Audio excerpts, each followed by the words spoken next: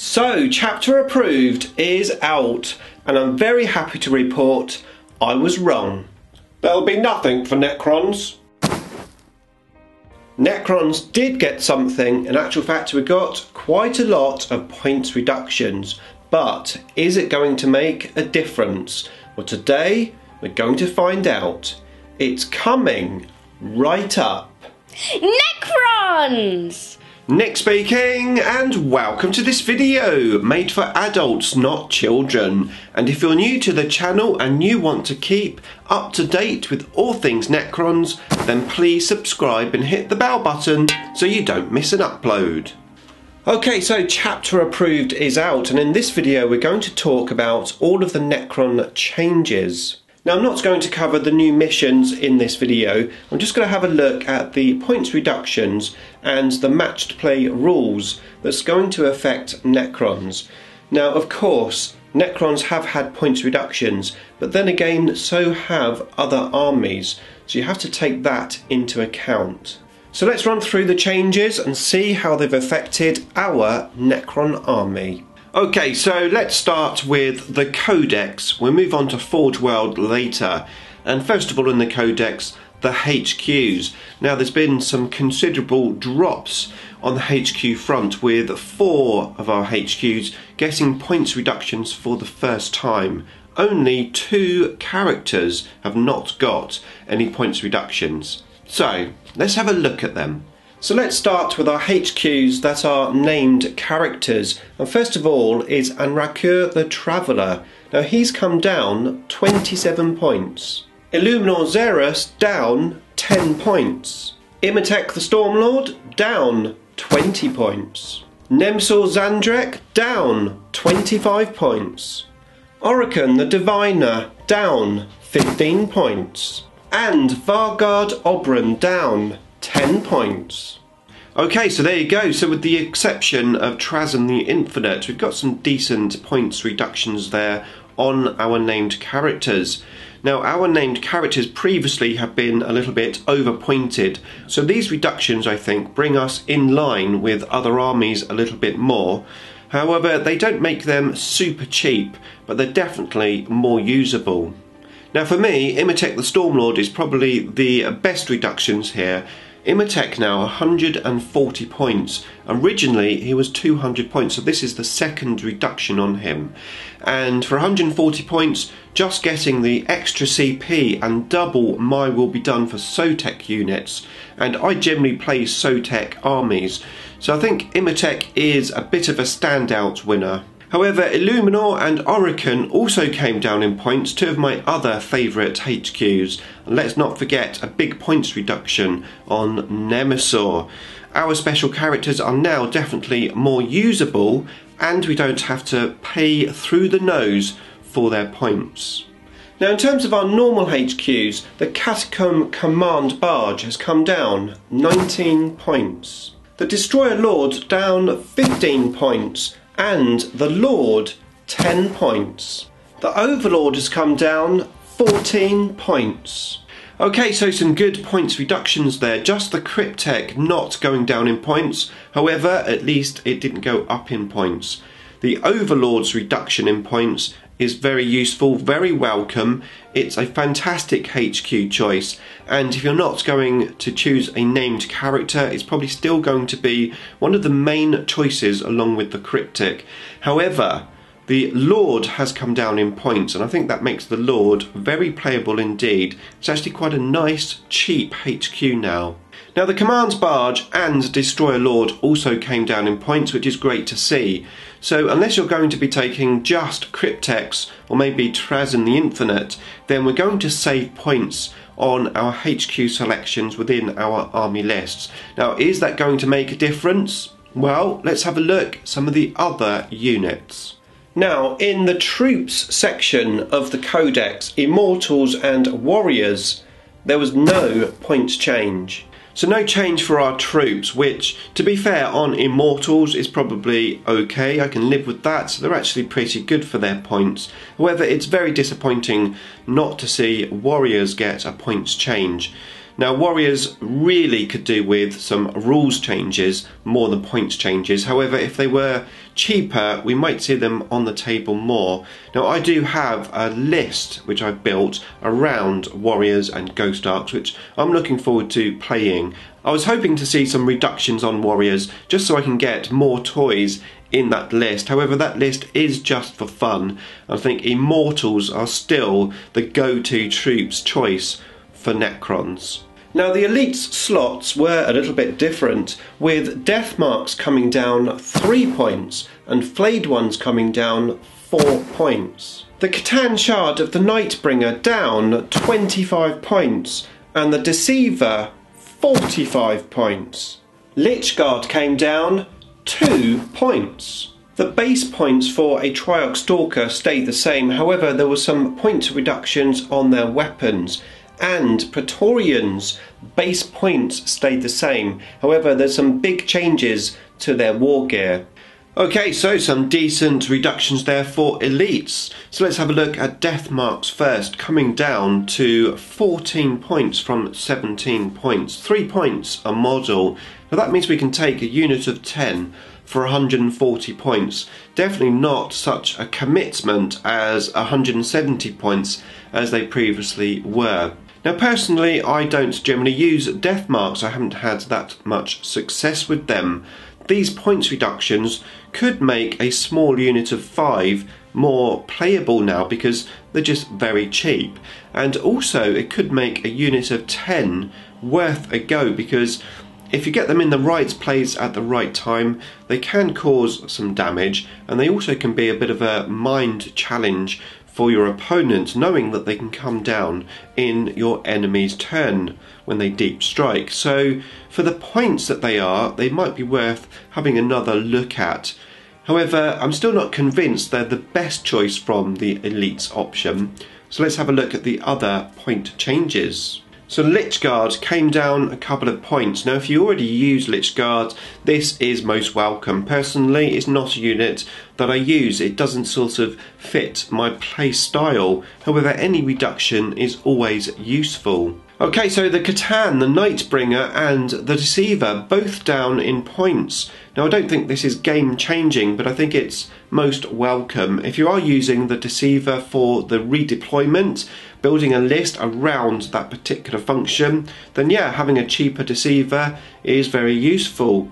The Nightbringer, now at 155 points, is quite an interesting take he can do some reasonable damage if you can get him into close combat, so it's worth having a look at him. Like I said, I don't think it's game changing, but he's definitely playable. Now, the Triarch Stalker didn't come down in its base points, however, the Heat Ray and the twin heavy gauss cannon both came down 10 points. And those are the guns which generally we use. The particle shredder did come down by 5 points though, if that is the gun that you use. So it's 10 points less. Now the Triarch Stalker was already an auto-include unit, unless you were playing the Nihilakh Dynasty. Allowing you to re-roll those ones is very useful. So yeah, the Triarch Stalker just got better. Okay, so Praetorians, a problem unit for Games Workshop, and this is down to the fact mainly because it doesn't have a dynasty code. Now, another big points reduction on Praetorians. I think if my calculations are correct, we've gone from 26 points to 20 points a model for the Rod of Covenant and then with the sword and pistol we've gone from 26 points to 22 points a model.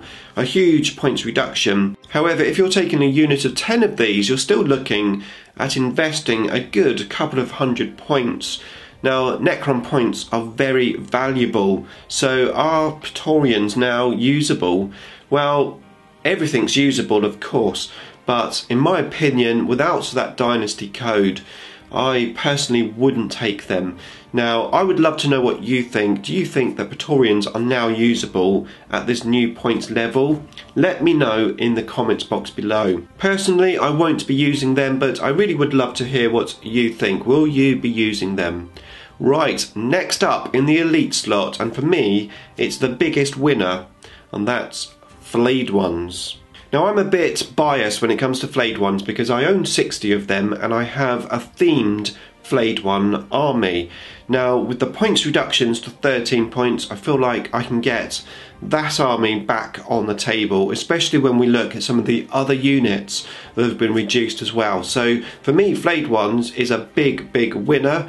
In actual fact, I think even if you don't have 60 Flayed Ones, for 130 points for 10 Flayed Ones, that's a very good little distraction unit for our armies. Something to play with your opponent's deployment, to have 10 flayed ones coming in, being able to potentially assault with all of the attacks, especially if you're in the Novokh dynasty with those flayed ones. So, yeah, for me, in the elite slot, the flayed ones are the biggest winners. Now, don't get me wrong, I don't think flayed ones are overpowered. I think they're just at the right points now compared to what they were, so they're definitely more playable. Now, one of the key supporting units in my flayed one army is the Wraiths. So let's have a look at those Wraiths and the fast attack choices.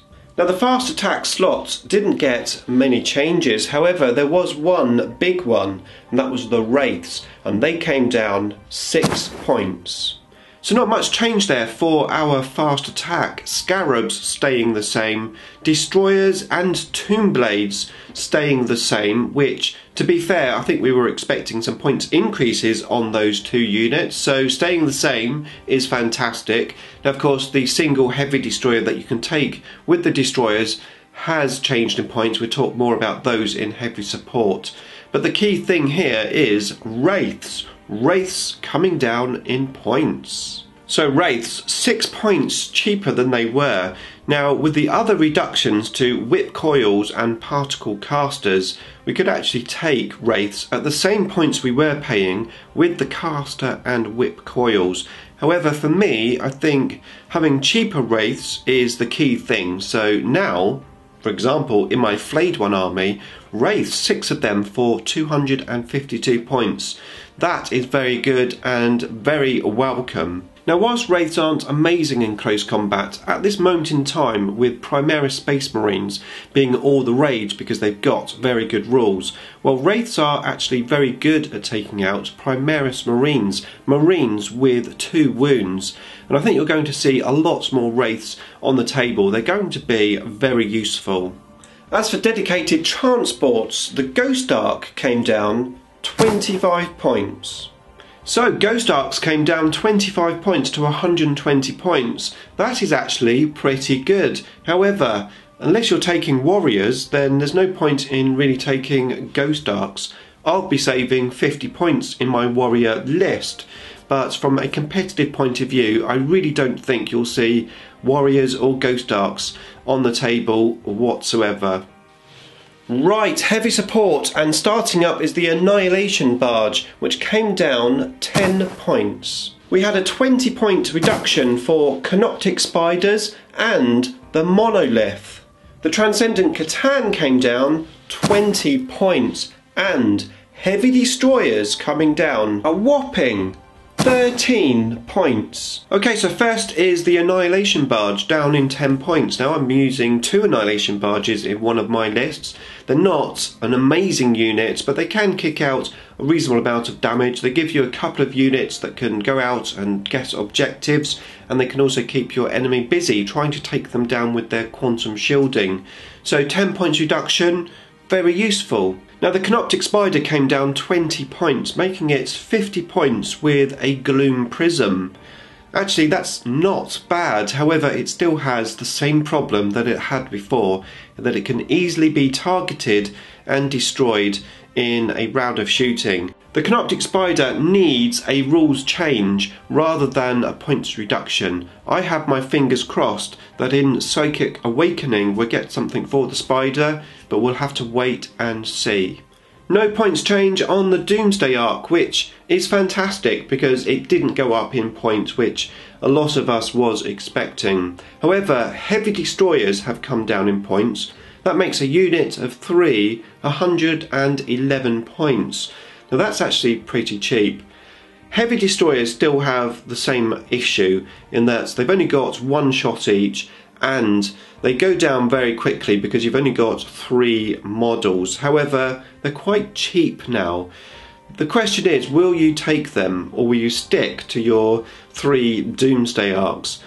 I'm going to try Heavy Destroyers and see how I get on because it is quite a small investment of points 111 points for three, and potentially, even though they will be shot out very quickly, well, if they're shooting at your Heavy Destroyers, which are now pretty cheap, they're not shooting at your other stuff, so that could be an advantage for us. What do you think of Heavy Destroyers? Again, let me know in the comments box below. Will you be using them now? Elephant or monolith? Okay, so the elephant in the room, the monolith, coming down another 20 points to 300, starting its life out at 381 points. It's now 300. Now, for me, that's still way too expensive for the rules that it has. I think personally, the monolith should be between 200 and 250 points. If the monolith was 250 points, I would take two of them in a list. However, at 300 points, to be fair, I'm not going to touch it. The monolith needs to be cheaper or have better rules. A 2 plus save, quantum shielding, something that makes that 300 point investment worthwhile. It's such a shame because the monolith is such an iconic Necron unit. I mean, who doesn't like to see monoliths on the table? They're so cool. Fun games, well, that's fine, but anything where you're trying to win the game, and monoliths isn't going to be the choice. Finally, for heavy support, is the Transcendent C'tan, coming down 20 points. That's a nice little reduction, and if you like to use your C'tan, then the Transcendent C'tan with his fractured personalities is actually quite a good choice. Like I said, it depends if you like using C'tans or not. I haven't used many C'tans apart from in a themed list. In my normal lists, they don't tend to make it. But uh, yeah, a nice points reduction nevertheless. Now, in terms of Necron Flyers, the Doom Scythe stayed at the same points. However, the Night Scythe got a 20 point reduction. Right, our Flyers. Good to see no points increase on the Doom Scythe. That was a little bit surprising. I thought they might go up because you see so many lists with three Doom Scythes in them. I suppose they are a little bit glass hammer because if you don't get first turn and a Doom Scythe goes down, then you've lost the ability to use the stratagem. So no points changed there. However, the Night Scythe has come down 20 points to 115 points. Now you do have the issue that if you don't go first, the Night Scythe can go down very quickly. However, it could be quite a nice delivery system for some of your units. So maybe the Night Scythe, possibly you might see on the table a little bit more, but yeah, Doom Scythes is where it's at.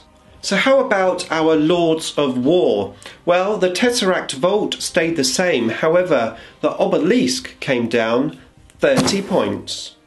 Okay, so the Vault stayed the same. I was expecting the Tesseract Vault to come down just slightly in points. It had quite a big points increase after everyone was using three Vaults on the competitive scene. So it went up quite a bit, and now we don't see many Vaults. I was expecting a slight reduction just to maybe try to get them on the table a little bit more.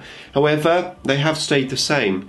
Now the Obelisk is the one which has come down in points. 30 points cheaper, but it's still 350 points. And for the damage output that it has, I just don't think it's worthwhile. Yes, you've got the toughness 8, but you get no invulnerable save like you do on the Tesseract Vault. So, yeah, 350 points. You won't see this on the table. Okay, so on to Necron weapons. The Heat Ray coming down, 10 points. Particle Casters down, 2 points. The particle shredder down 5 points. The rod of Covenant down 6 points. And the twin linked heavy gauss cannon down 10 points. So those are the changes to ranged and melee weapons. And of course, I've already discussed those changes, how they affect the units previously. However, what about the war gear options?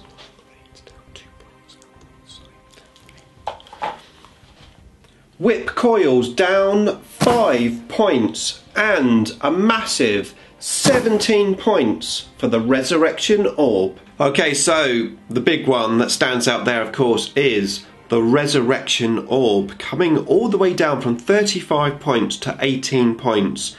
Games Workshop, I hope it's because you've been watching my Necron HQ videos where I constantly say that the Resurrection Orb is just overcosted. However, now for 18 points, that is very viable and I'm going to put them in pretty much every list that I can where those characters are going to be around reanimation protocol units. 18 points, definitely usable. Right, that's the codex, but how about Forge World? First of all, the Tomb Sentinel, which is down by 15 points. The Tomb Stalker came down by 20 points. The Canoptek Acanthrites came down 12 points. Okay, so Acanthrites down 12 points each to 42 points. Now that's the same price as Wraiths now for a unit of 6. And I'm quite pleased with this because I've recently acquired three more Acanthrites to give me a unit of 6. I'm going to be trying these on the table. I think they're going to be quite good now. The Tomb Sentinel and the Tomb Stalker coming down in points. A nice little reduction. I don't own these models, I've never really played them, but I think they're definitely quite usable. So there you go, some nice point changes for Necrons once again. I'm very happy to see those point changes. Now how much is that going to affect our armies? Well, I've had a look at my army lists to be fair, most of the units which I use in my lists haven't really changed that much. Obviously, wraiths have come down, and I use those quite a lot. Our characters' points reductions is going to free up a few points. In my Surgecron list with the Tesseract Vault, I've got myself an extra 80 points to spend. And the version with the Soraptic in there, I've got another 36 points.